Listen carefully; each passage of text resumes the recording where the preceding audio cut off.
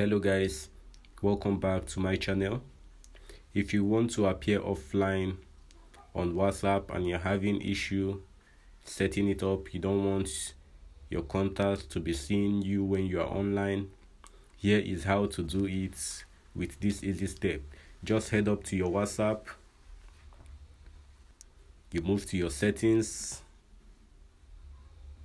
So in your settings you click on account. You go to privacy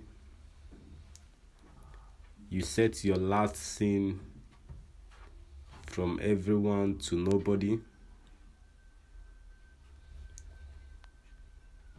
You move back. Your live location if it's on if you've turned it on before in any chat you set it to none. Mine is currently off. So if yours is on you set it to none then you go to your read receipt you off it. You off your read receipt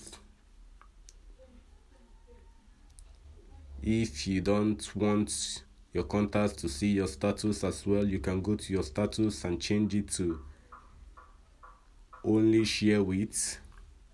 Don't select anybody just click on done.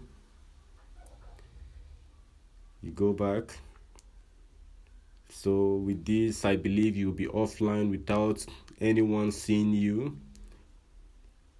You always appear offline but you are currently online.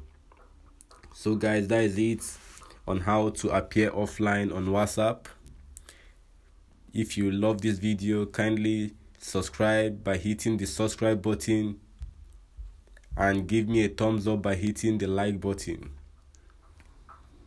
so guys see you guys in our next video. Bye for now